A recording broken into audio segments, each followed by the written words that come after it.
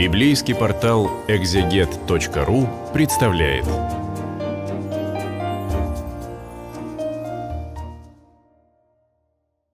Восьмая глава Евангелия от Матфея. Я читаю свой перевод с небольшими комментариями для библейского портала «Экзегет». Закончена Нагорная проповедь, большая, сложная, интересная, яркая. А что будет сразу дальше? А дальше будет Иисус и люди. Вот проповедь — это хорошо, но она обращена к людям. Она не звучит где-то вот в космосе для каких-то абстрактных объектов, да? А люди, они разные, у них разные ситуации. И э, самые обычные люди, они желают прежде всего себе здоровья, удачи, благополучия. Так и здесь. Иисус не отвергает этого. Перед Нагорной проповедью искушения в пустыне, где он в отношении себя не заботится об этом, о еде, о безопасности, об известности, о власти, а в отношении других совсем другое дело. Когда Иисус спустился с горы, за ним последовало множество народа. Ну, еще бы, уже популярный проповедник. И тут подходит к нему прокаженный и молит, упав на колени, «Господь, господин, стоит тебе пожелать, и ты очистишь меня». Ну, прокаженный э, – это опасная, очень заразная болезнь. Он был и отверженным, не только больным. Ну, понятно, потому что болезнь действительно очень заразная, и, в общем, он должен был носить особую одежду, предупреждать там голосом, чтобы к нему не приближались. Э, и вот он подходит, он нарушает все эти правила, вот деление на здоровых и больных. Карантинные правила, которые мы вдруг неожиданно в недавнем прошлом изучили очень хорошо. А, и, кстати, как он к нему обращается, ну, здесь господин э, часто переводит как «Господи», но «Господи» по-русски это все-таки обращение только к э, Богу, а, а тут, по всей видимости, он не имеет в виду этого, а э, говорит лишь о том, что уважает Иисуса, и, соответственно, э, для него Иисус какой-то очень важный человек, но не то, что Иисус — это вот Творец неба и земли и так далее. А, и смотрите, формулировка «стоит тебе пожелать, и ты очистишь меня». Стало бы дело не в том, что э, вот Иисус может или не может, а дело в том, что э, он может этого пожелать, да, физическая способность у него есть, вот есть его воля на это. Как часто люди обращаются и к Богу, и к другим людям с такими вот просьбами «сделай, как я хочу», а Здесь он формулирует, а ведь это его спасение, это его здоровье, это его жизнь. Формулирует иначе. Ты можешь. Вопрос в том, хочешь ли ты. Это тебе решать. Иисус протянул руку, коснулся его и сказал, «Желаю, очистись». С него тот же сошла проказа, он очистился. Иисус ему говорит, «Смотри, никому не рассказывай. Ступай, покажись священнику и принеси дар, как повелел Моисей, чтобы все убедились». Э, речь идет про правила ветхозаветного очищения, когда Иисус э, его очищает, он должен принести определенный дар, священник должен засвидетельствовать его очищение, и тогда он становится ритуально чистым. То есть даже чудо не отменяет каких-то э, норм, правил, ритуалов, все равно это все происходит. А когда Иисус входил в Капернаум, город, где он жил, да, большой город Галилеи, к нему подошел Центурион с такой просьбой. Центурион, смотрите, первый у нас, кто появился прокаженный, он ритуально нечист, и он болен. Центурион, эм, казалось бы, ровно наоборот, он прекрасный, э, прекрасную должность занимает, он командир Центурии римского отряда примерно в 100 человек, иногда переводит как сотник, да? Но, с другой стороны, он оккупант более того, офицер оккупационной армии, поэтому на него тоже смотрят так косо. Интересно, смотрите, вот Э, наверняка было много людей, ну, таких хороших, нормальных иудеев, да, которые э, не были ни прокаженными, ни оккупантами, но с самого начала появляются как бы те, кому много вопросов, да, а те, кто не должен был бы вообще приближаться к знаменитому учителю. А с другой стороны, а может им надеяться больше не на кого? Вот прокаженный, ну чего ему делать, когда вот, вот так с ним все уже, да? Центурион, ну, э, на него смотрят как на оккупанта, и, и что остается? Ну, вот только, только к Иисусу. К нему подошел Центурион с такой просьбой. «Господин, у меня дома лежит слуга, разбитый параличом, он очень страдает». Смотрите, прокаженный просил о себе, потому что, понятно, проказа страшная болезнь, а Центурион даже не о себе просит. Вот хороший человек. Иисус сказал, я приду и позабочусь о нем. Но Центурион ответил ему, а это военный же, да, он э, понимает порядок дисциплины, он знает, что такое приказ. «Господин, я недостоин, чтобы ты входил под крышу моего дома, но стоит тебе сказать только слово, и мой слуга исцелится. Есть надо мной начальство, но и мне подчиняются солдаты. Я прикажу одному уйти, он уходит, прикажу другому явиться ко мне, он является, и что прикажу сделать рабу, он делает». Стало быть, э, те силы, которые подчиняются Иисусу, подчиняются одному Его Слову, и а не нужно никакое действие, достаточно только одного слова, да, как у Иоанна будет вначале было слово. Как интересно, получается, Центурион формально вроде как язычник римский, да? Он понимает вещи, которые иудеям не всем ясны. Услышав это, Иисус с удивлением сказал тем, кто был с ним – Аминь, говорю вам, что ни у кого в израильском народе я не нашел такой веры. У иностранца, у оккупанта. Говорю вам, много кто придет с востока и запада и сядет за пиршественный стол с Авраамом, Исааком Иаковом, Царстве Божьем. Но это предки еврейского народа. Но те, кто считали себя в этом царстве сыновьями, будут выброшены наружу, во тьму, где будут рыдать и скрежетать зубами. То есть те, кто считал, что э, у них уже вот билет выписан в это царство, они уже там себе забронировали местечко.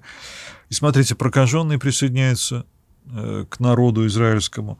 Э, Центурион не то, что присоединяется к израильскому народу, но оказывается даже в чем-то лучше вот э, большей части этого народа, потому что его вера оказывается более ну, не то что крепкой даже, а более безусловной, да, вот не нуждающейся в каких-то э, порядках и ритуалах. Не случайно, кстати, в истории с прокаженным этот порядок и ритуал были упомянуты. Да? Это хорошо, это прекрасно, но, оказывается, можно даже без этого. А вот некоторое такое стирание границ. Но не вообще не то, что Иисус приходит и говорит, а все теперь неважно, ты израильтянин, язычник, иудей, римлянин, мужчина, женщина, больной, здоровый, это все не так, но э, через конкретные истории – то есть э, общество, оно сложно же устроено, в нем много разделений. Эти разделения не всегда плохие, они э, позволяют обществу функционировать. Если все одинаковые, то в общем, они не очень нужны друг другу, да, когда они разные, то тогда эта необходимость друг друга возникает, и взаимодействие возникает глубокое. Но э, вот те барьеры, которые людей разделяют, оказывается, могут быть убраны.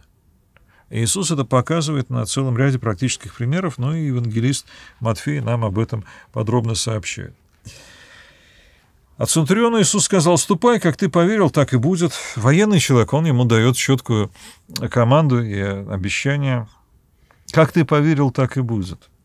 Ну, или будет себе поверить твои в традиционных переводах. То есть, как ты просил, так и будет. Это понятно. Как ты хочешь, так и будет. Тоже понятно. А вот как ты поверил? Вера как некоторые усилия, как некоторые усилия, которые само по себе производят действие. И в тот же час его слуга исцелился. А когда Иисус пришел домой к Петру, то увидел, что у его тещи сильный жар. Он взял ее за руку, и жар сразу спал. Она встала с постели и приняла его как гостя. А почему Петру или теще он не задавал никаких вопросов? Или не ждал, пока они ему что-то скажут? Оказывается, нет, Иисус сам по себе исцеляет. Это не то, что есть какие-то волшебные слова, формулировки, подходы особые, которые позволяют это исцеление получить. Он просто исцеляет. Вот его приход уже целителен. И э, теща, вот она простая женщина, она ничего этого богословского не стала делать. Она просто его приняла, там, приготовила еду какую-то, накрыла на стол, угостила его, да. Не более того, но и это ценится. То есть вот э, ценится все, и стираются границы между, скажем так, э, героями веры и людьми повседневности, да. Они тоже оказываются где-то вместе. И под вечер стали приносить к нему многих людей, одержимых бесами. Он одним словом изгнал бесов и вылечил всех, кто был болен. А эти вообще, наверное, только поняв, что все очень хорошо работает, э, ищут исцеления, вот э, бесноватые, больные, и у них не до высокого им богословия, им бы вот так вот попросту разобраться, что куда. Так, так и это возможно, да? То есть приход Иисуса — это не э, элитарная религия для вот героически верующих, особо богословски подкованных. Это для всех, только приди к нему. Так исполнилось предсказанное через пророка Исаию. Он понес на себе наши немощи, болезни наши на себя принял. Почему понес? Избавил нас от них. Но э, здесь уже Матфей начинает нам говорить о кресте, о будущей смерти. То есть не просто э, пришел и волшебным образом всех исцелил, да? пришел и дал всем то, чего они так хотели. Но принял на себя, принял на себя вот этот груз зла, вот этот удар э, греха, удар немощи человеческой, и э, поэтому так все и закончилось. Но это еще далеко, пока только маленький-маленький флажок. Глядя на толпу вокруг, Иисус велел ученикам переправиться на другой берег озера. Тоже ведь устает от этого всего, да? Тут к нему подошел один книжник и сказал, «Учитель, я пойду за тобой, куда бы ты ни отправился». Да, интересная такая ситуация. Толпы напирают, вот давай, давай, исцеляй нас, давай там, вот перформанс такой, да, говоря современным языком. Вот мы любим, что было так мощно, да. А, и от них Иисус уходит. Подходит только один – и с другим обращается книжник. Вообще-то книжники, они не самые дружелюбные по отношению к Иисусу люди, но одно дело категория, другое дело личность. Вот он лично говорит, я пойду за тобой, куда бы ты ни отправился. И это уже совсем другое, чем толпы, собирающие и теснящие.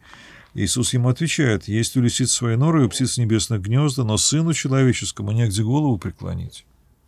Подумай, это имеет цену. Еще один ученик сказал ему, господин, позволь мне сначала похоронить своего отца.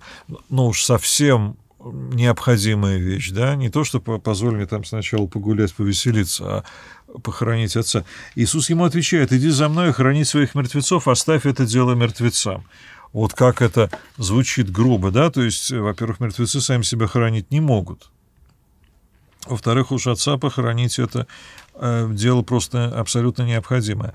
Ну, иногда говорят, что Э, он имел в виду, мой отец жив, он, э, ну, человек старый, ему немного осталось, а позволь мне э, беречь его старость, вот жить вместе с ним, потом я его похороню, когда он умрет в свое время, и тогда я уже освобожусь. И Иисус ему говорит, ну, слушай, если заботиться о похоронах, то вот жизни-то настоящей не будет. Поэтому давай вот, что касается похорон, там найдется кому похоронить, а ты вот живи здесь и сейчас.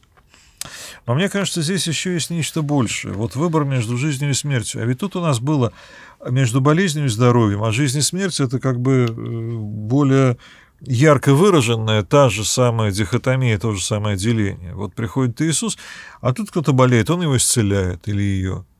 А приходит Иисус, а тут какие-то похороны. А он говорит, похороны это похоронами, а вот мы живем, мы идем дальше.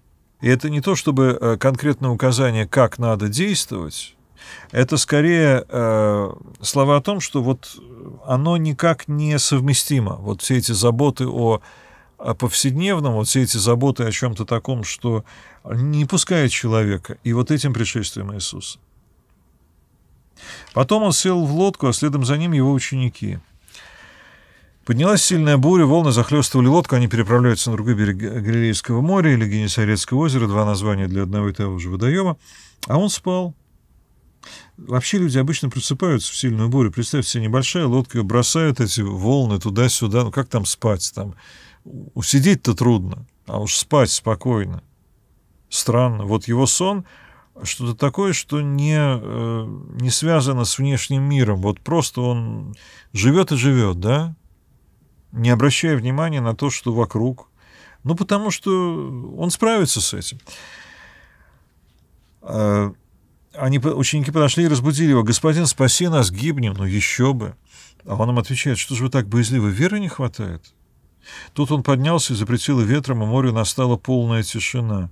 А люди с изумлением говорили, да кто же он такой, что и ветры, и море повинуются ему? То есть, э, смотрите, Э, учеников вполне естественная реакция, но даже естественная теряет всякий смысл, как похороны отца, например, да, теряет всякий смысл в его присутствии. Здесь начинается какая-то совершенно другая жизнь. Вот важно, э, чтобы тебе для этой жизни хватило веры, только веры, да, вот сотнику веры хватило, а кому-то не хватило, ученикам его не хватило. Это не то, что вокруг него чемпионы веры, да, вот олимпийская сборная по вере. Э, нет, ни в коем случае. А просто кто-то за ним пошел, и э, вот он учится этой вере на каких-то конкретных примерах.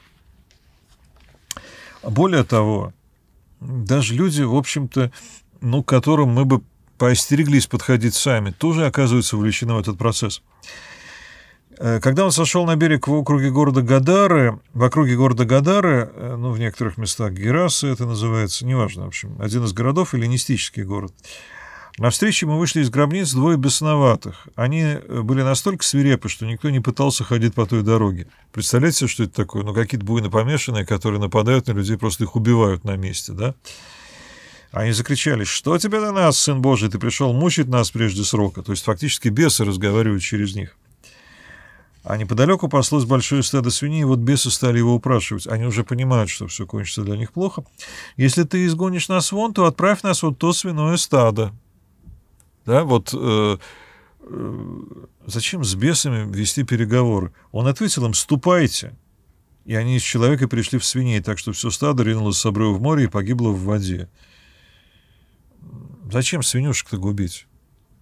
Ну, во-первых, у них рыночная стоимость есть, а во-вторых, они тоже живые существа. Зачем он позволил бесам губить целое стадо свиней? Давайте дочитаем и к этому вернемся. А те, кто по стаду убежали в город, рассказали обо всем, и об одержимых тоже. Вот мне нравится это обо всем, и об одержимых тоже. Ой, у нас свиньи пропали, какой кошмар. А, да, там еще был двое одержимых, так они исцелились. О, приоритеты этих людей. Интересная деталь. Может быть, потому так и случилось, что свинюшки-то в э, море попрыгали галилейское, да? И вот уже весь город вышел навстречу Иисусу, едва его увидели, упросили покинуть их округу. Какой вред наносит нашему свиноводству, да? Конечно, это немножко юмористический такой эпизод. Во-первых, город языческий, Гадара, Гераса, то есть э, там живут не евреи, там живут, ну, эллинистические какие-то люди, то есть они э, разводят свиней, что было строжайше запрещено. И, кстати, для иудеев стада свиней на Святой Земле — это, в общем-то, мерзость. Можно сказать, он очищает Святую Землю от нечистых животных. Но, э, с другой стороны, это вот очень яркий эпизод, который показывает, что можно же совсем по-другому. Вот живут там эти одержимые. Люди боятся мимо них ходить, это крайне неприятная история. А они исцелились, ну, ну и ладно. А вот свиньи пропали, это прям большая проблема, да? Вот теперь у нас э, ветчины не хватит, сала нам будет не хватать, да? Вот что их интересует. Довольно часто бывает так, что человек забывает э, о возможности что-то изменить очень сильно и к лучшему в своей жизни, потому что, собственно, свинство его очень увлекает, и никак не хочется с ним расставаться. Может, весь эпизод про это?